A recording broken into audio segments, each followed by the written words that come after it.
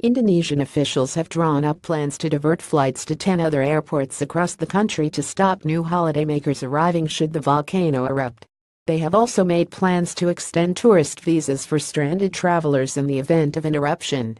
Authorities are making plans, after they were left fighting, to clear a backlog after almost 900 flights were cancelled or delayed at Bali's International Airport in 2015 due to a volcanic eruption causing travel chaos during the peak holiday season.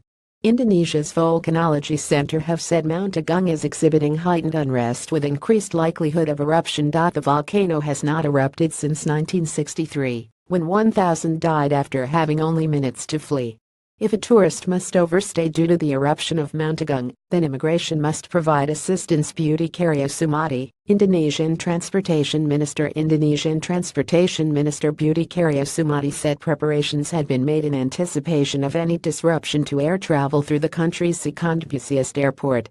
Jakarta, Makassar, Surabaya, Balikpapan, Solo, Ambon, Manado, Praya, Kupang, and Banyuwangi airports will step up to become alternative routes should an ash cloud force Bali's Ngurah Rai International Airport to close.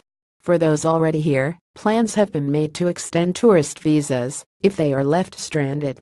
Sumadi continued if a tourist must overstay due to the eruption of Mount Agung, then immigration must provide assistance related to the extension of their tourist visa. Getty Images Bali volcano Indonesian authorities have come up with plans for any travelers left stranded wed. September 27, 2017 Mount Agung seen from the Pemuteran village in Karangasem, Bali Indonesia Getty Images Bali volcano activity within the volcano has increased in recent days, causing concern tourism in Bali is strong, with close to 5 million people visiting last year.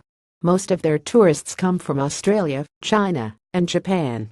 Bali's airport is operating as normal at the moment, but airlines are preparing for an eruption. Virgin Australia and Jetstar have said they will carry extra fuel in case their planes are required to alter course.